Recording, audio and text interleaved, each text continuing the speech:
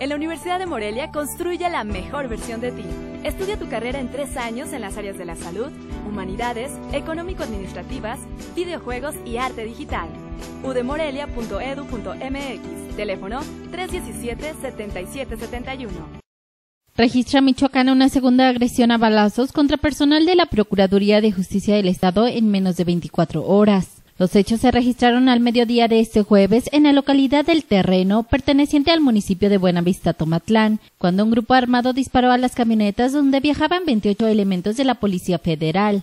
Los agentes se dirigían a las inmediaciones de la mina de Aguililla para recoger una camioneta oficial que horas antes había sido baleada cuando era tripulada por dos ministeriales y un perito que retornaban de una dirigencia en ese lugar, mismos que resultaron lesionados. La Procuraduría de Justicia del Estado informó que los policías ministeriales lograron repeler la agresión que duró varios minutos, tiempo que fue aprovechado por los integrantes del grupo armado para huir con rumbo desconocido. No se reporta ningún lesionado. Al lugar del atentado llegaron varios elementos del ejército mexicano para auxiliar a los policías ministeriales y tratar de dar con los responsables sin resultados positivos. Autoridades de la Procuraduría de Justicia del Estado iniciaron las investigaciones correspondientes para dar con los responsables de esta agresión que no se descarta pudiera ser las mismas personas que dispararon contra el personal de la PGJE el miércoles pasado.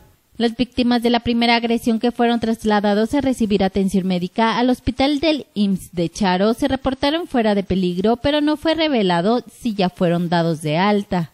Tras los dos ataques, los operativos por parte de la Policía Federal y fuerzas castrenses continúan en toda la zona de la Tierra Caliente michoacana, donde continúa latente el riesgo de que los grupos de autodefensa se expandan a otras demarcaciones.